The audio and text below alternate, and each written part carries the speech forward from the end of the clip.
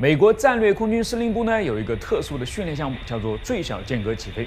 它假想一旦核战爆发，怎样才能让尽可能多的 B 五二轰炸机在基地收到导弹袭击警报后的十五分钟内迅速升空躲避，以免被一锅端掉。而之所以要卡住这个十五分钟呢，基本上就是基地被摧毁之前能够争取到的最大逃生窗口期了。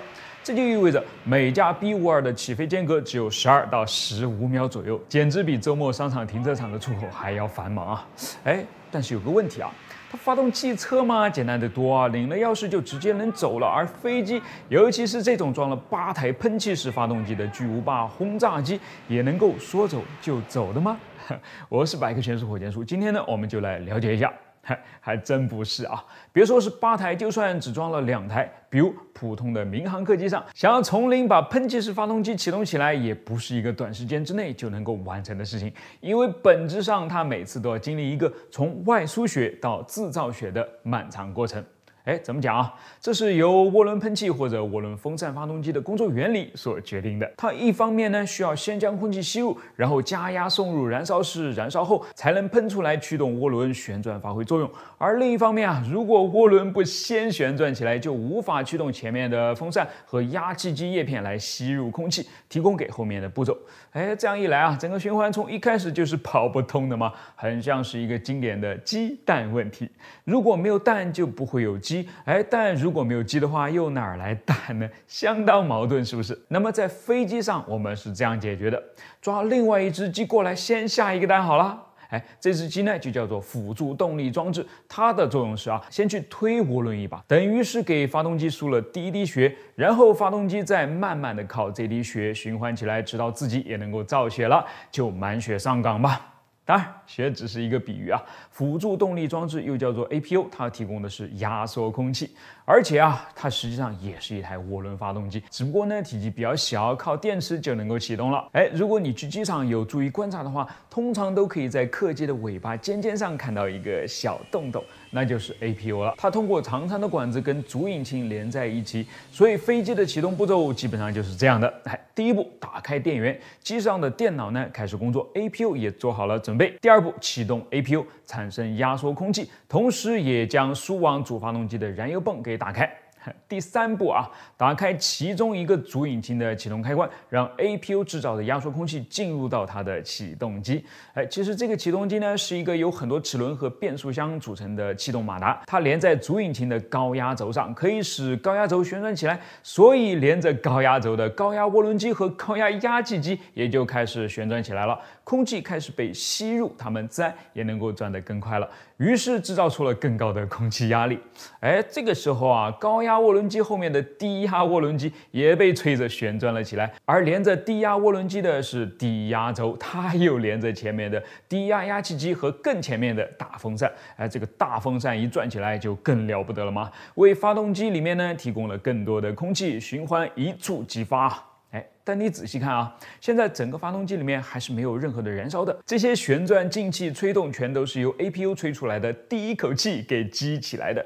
所以到了第四步就该是让燃料搞点事情了。打开燃料的加压阀，用 APU 提供的压缩空气来将燃料加压后喷入燃烧室，和空气混合后点燃，制造出更大的燃气压力，推动后面的涡轮机转得更快了。好了。到了这一步呢，主引擎的制造学已经建立起来了，当然也就完成了整个引擎的启动步骤了，可以切断 APU 准备起飞了。哦哦，不过啊，咱们刚才只是启动了一台引擎而已。是的啊，APU 太小，一次只能顾得上一个，所以现在呢，这只已经长大的鸡得要扮演为另外一只鸡或者别的更多的鸡下蛋的角色了，用它生产的压缩空气来启动其他的引擎，重复刚才的步骤。所以整个过程啊，它快不了嘛，必须得一步一步扎扎实实的做好才行啊。好了，到了装着八台引擎的 B 五二身上，它就意味着至少要花掉一个小时的准备时间了。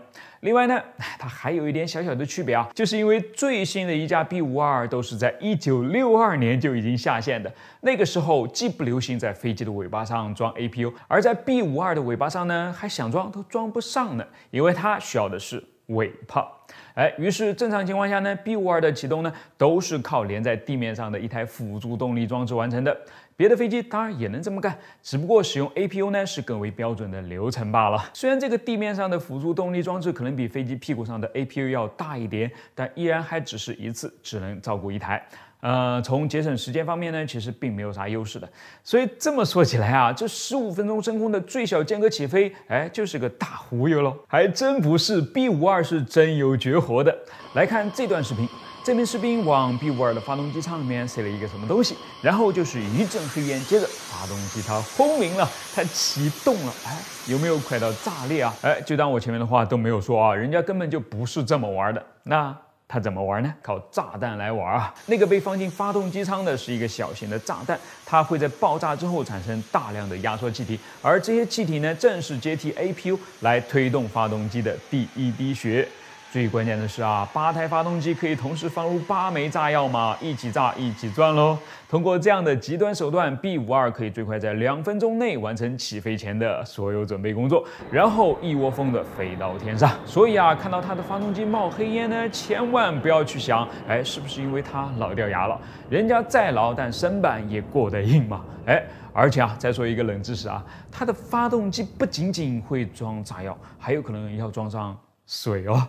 是的啊，除了最后一个装着涡扇发动机的 B 五二 H 以外呢，之前的 A B C D E F G 型号上面装的 J 五七涡喷发动机里面，都会在最小间隔起飞时灌上水和燃料一起喷哦，哎，用这样的方式来提供额外的推力。你看他们穿过的那层层的黑烟呢，就是混了水的燃料在燃烧不充分时冒出来的样子啦。可见 B 五二是真黑科技啊，难怪美军说我还要再用它一个世纪。好了，这就是今天的内容。我是火箭叔，关注我，把不一样的科学知识讲给你听。